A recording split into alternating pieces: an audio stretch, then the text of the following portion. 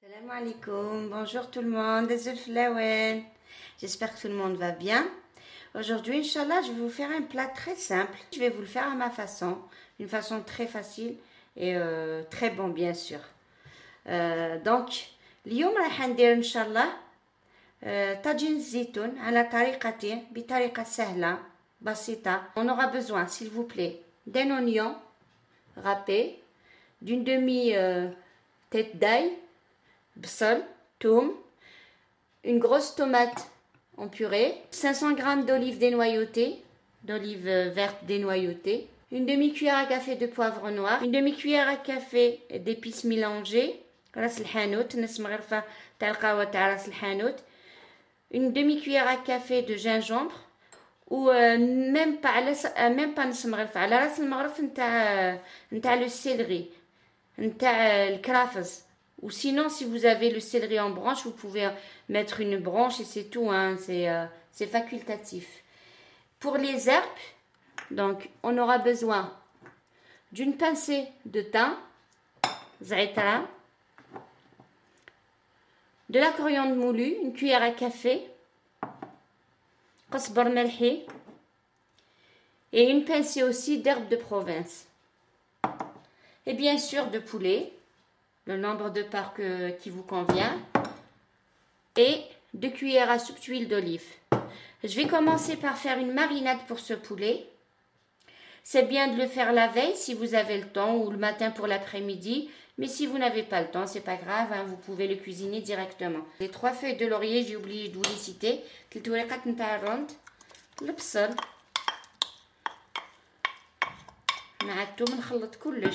Dans cette recette, il n'y a pas de poivre euh, rouge, il n'y a pas de...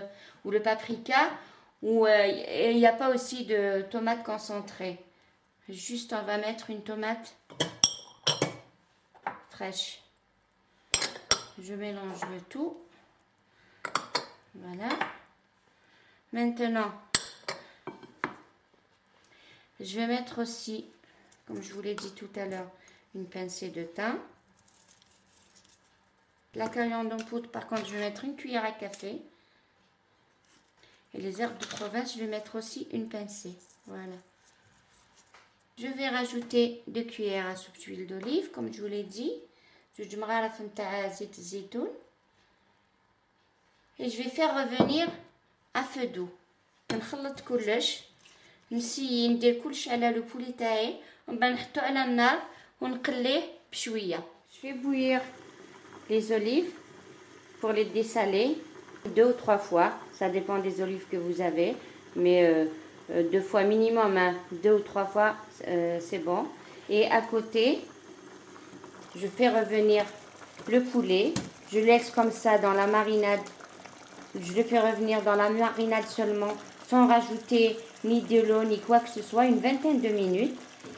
Et après, je vais mettre juste un petit peu d'eau et je vais rajouter les olives pour continuer la cuisson. Après, je voulais vous dire un truc.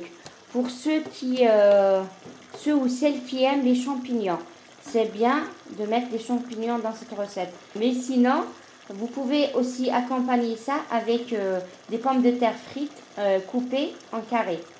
Je couvre et je laisse une vingtaine de minutes en attendant de faire bouillir les olives. Donc dès dès que ça commence à bouillir, on jette l'eau on remet une autre eau et c'est comme ça pendant trois fois. Bien sûr, on baisse le feu. On n'oublie pas de baisser le feu. Après 20 minutes ou 25 minutes, si vous pouvez, ça serait bien, même une trentaine de minutes, regardez, on obtient ce résultat. Le poulet commence à être gratiné. À ce stade, je vais rajouter les, les olives que j'aurai préalablement égouttées, bien sûr et je vais couvrir d'eau, bien sûr d'eau bouillante.